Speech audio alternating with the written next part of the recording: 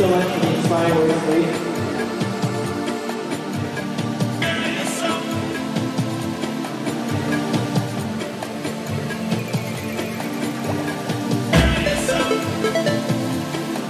interesting for me is that if there's ever any proof that I'm making it happen, it's that I'm making it happen. You know, and that if you want to learn how to make it happen, then the proof is in the pudding of what I'm able to put out.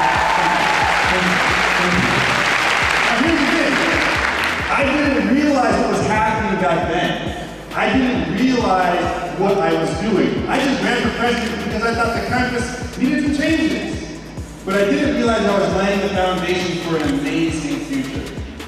See, I now am living my dream. As an alumni, I'm doing exactly what I hope to do.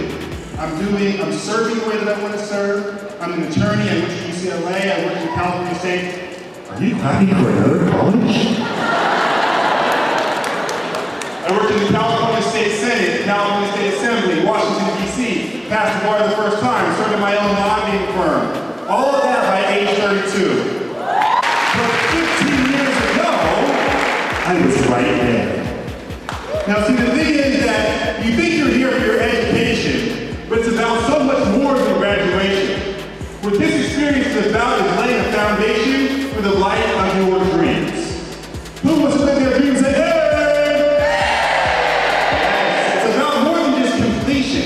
This is about the fulfillment. What are you creating in your time here at UC Davis? You've got four years on this campus. Most people under overestimate what they can do in one year, but they underestimate what they can do in five.